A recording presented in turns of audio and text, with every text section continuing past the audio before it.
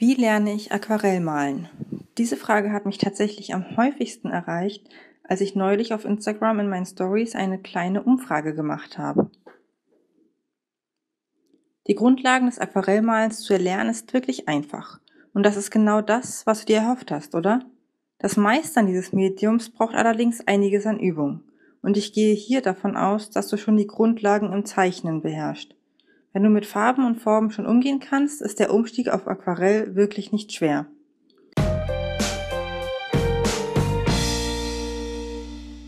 Alles, was du wissen musst, ist, welches Material du am besten benutzt und wie sich die Farben verhalten. Die Grundlagentechniken sind leicht und schnell erklärt und das werde ich in diesem Beitrag tun. Bleib also weiter dran. Was wir brauchen, ist Aquarellpapier. Wir können für das Malen mit Aquarell kein normales Druckerpapier benutzen. Das wäre ja auch zu schön. Wir brauchen Papier, das für den Umgang mit viel Wasser gemacht ist, das sich möglichst wenig wellt, gleichmäßig trocknet und die Pigmente auf der Oberfläche lässt, statt sie ins Papier einzuziehen. Du siehst, an Aquarellpapier werden hohe Ansprüche gestellt. Meine absoluten Empfehlungen für den Beginn mit Aquarell sind daher auch Papiere, die gerne Fehler verzeihen und schöne Ergebnisse liefern. In diesem Beitrag möchte ich gar nicht so sehr auf Materialien eingehen, aber für den Anfang sind sie natürlich elementar.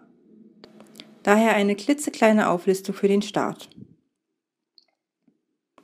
Das Aquarell XL von Cresson ist für den Anfang ein sehr gutes Papier. Es ist sehr kräftig, hat eine schöne Oberfläche und die Spiralbindung macht es einem leicht, die Bilder umzublättern. Eine meiner Lieblingsfarben sind die Farben von Sennelier. Sie sind auf Honigbasis erstellt und haben wirklich schöne, brillante Farbtöne. Sie sind definitiv Profiqualität und kosten auch dementsprechend. Wer günstige Farben für den Einstieg möchte, kann sich Aquarellstudio von Lukas kaufen. Die kleine Reisepalette ist aus Kunststoff, sehr robust und hat eine schöne Auswahl an Farben. Eine große Auswahl von Pinseln zum kleinen Preis gibt es von der Marke Mahlzeit. Da diese Marke aus dem Restaurationsbereich kommt, also eher aus dem Baugewerbe und der Architektur, wo ich herkomme, ist sie für Hobbykünstler gar nicht so geläufig. Aber wir wollten uns ja um die Techniken kümmern und wie wir mit unserem tollen neuen Material, an das wir uns ewig nicht herangetraut haben, nun Aquarelle malen können. Wenn ich meine Fläche zuerst mit klarem Wasser bestreiche, sodass sie komplett bedeckt ist und ich dem Papier dann ein klein wenig Zeit gebe, die Farbe aufzuziehen, dann mit einem Pinsel in Farbe hineingehe und sie mir nehme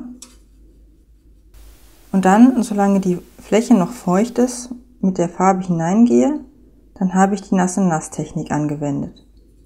So kann ich einerseits schöne, sanfte Verläufe erstellen und andererseits auch komplette Flächen einheitlich einfärben.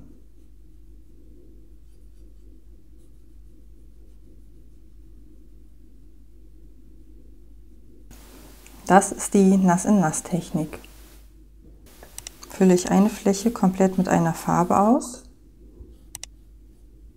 Achte dabei schön auf die Flüssigkeitsverteilung und gehe dann mit einer anderen Farbe hinein. Dann entstehen sanfte Verläufe und die eine Farbe verdrängt die andere Farbe und das ist eine Lavierung.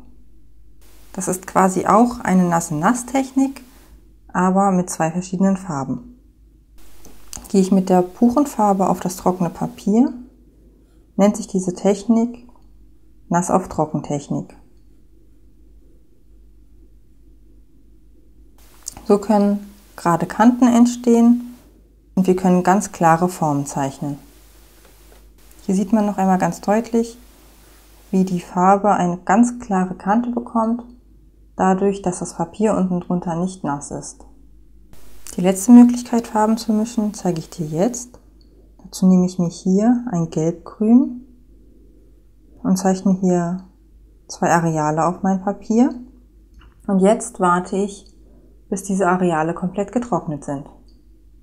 Wenn ich jetzt die Farbe mit einer anderen Farbe übermale, dann entsteht dazwischen, also da wo sich die beiden Farben überlagern, eine andere Farbe, in diesem Fall ein grünlicher Ton, da ich mit Blau auf Gelb gegangen bin. Und diese Technik nennt sich Lasur. Anhand dieser Blumenzeichnung, die du dir einfach herunterladen kannst, kannst sie dann abzeichnen oder abpausen, wie du möchtest. Ich verlinke sie dann direkt unter dem Video. Zeige ich dir einige Grundtechniken von Aquarell und wie du damit einen Anfang machen kannst. Zunächst habe ich hier meinen Aquarellkasten. Um meine Farben zu aktivieren, benutze ich eine Pipette mit ähm, sauberem Wasser drin.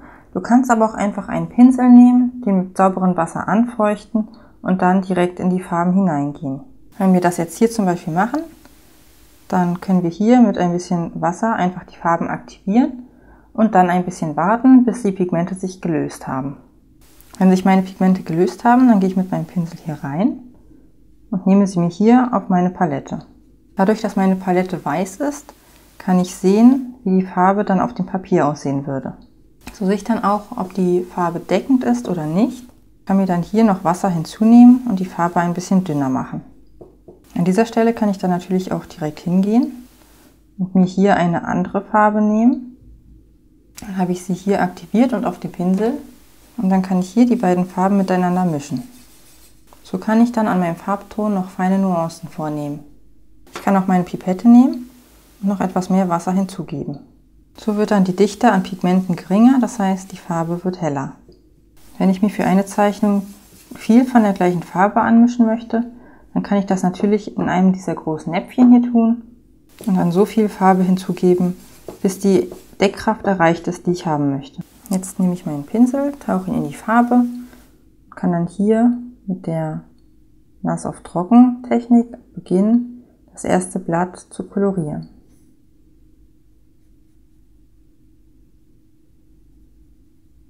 Dadurch, dass ich hier die Farbe auftrage, ist das Blatt an dieser Stelle natürlich dann nicht mehr trocken. Das heißt, wenn ich jetzt mit der Farbe wieder hineingehe und die Farbe abdunkle, mache hier quasi direkt eine Lavierung, indem ich verschiedene Farben übereinander lege. Kann dann hier gleich hingehen und mit sehr viel Pigmenten und einer anderen Farbe dann direkt einen Schatten in mein Blatt reinzeichnen. Und dadurch, dass die Farbe hier unten noch feucht war und die obere dann draufgekommen ist, haben wir einen weichen Übergang. Jetzt nehme ich mir dieses Blatt hier vor und befeuchte es einmal. Ich nehme dazu einfach nur mein klares Wasser. Ich achte dabei darauf, dass mein Wasser natürlich schön gleichmäßig verteilt ist und sich keine Pfützen bilden. Und dann nehme ich meine Farbe, die ich mir angemischt habe und gehe dann hier direkt rein. Und so lassen sich die Farben, die Pigmente dann wundervoll und gleichmäßig schön verteilen. Das ist jetzt die Nasse-Nass-Technik. Wenn ich jetzt wieder mit meiner anderen Farbe hineingehe und hier einen Schatten setze, dann setze ich hier direkt eine Lavierung mit rein.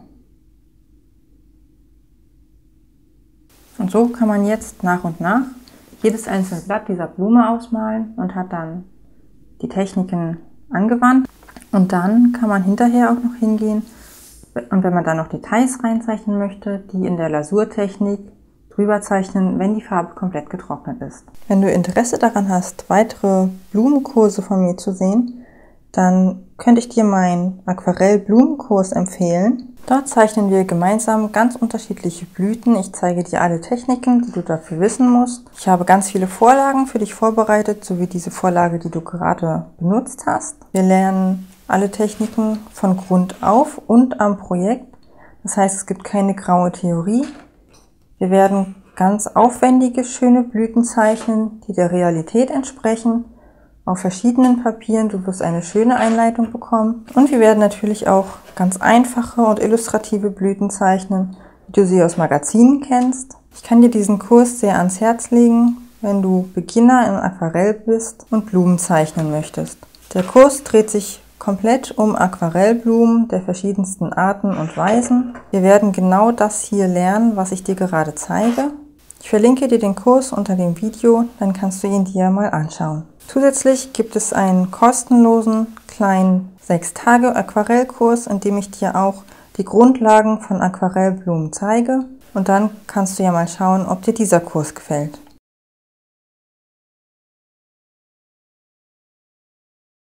Wenn dir dieses Video gefallen hat, dann freue ich mich natürlich über ein Däumchen nach oben oder du kannst meinen Kanal abonnieren.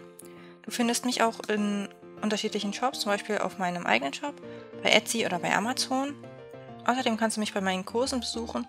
Dort findest du online alles, was du wissen musst und kannst ganz bequem von zu Hause aus lernen. Du kannst mich natürlich auch auf Facebook, Instagram oder Twitter besuchen und auch abonnieren. Ich freue mich über jede Nachricht von dir. Und wenn du möchtest, kannst du mich auf Patreon unterstützen. Alles Liebe und bis zum nächsten Video. Ciao!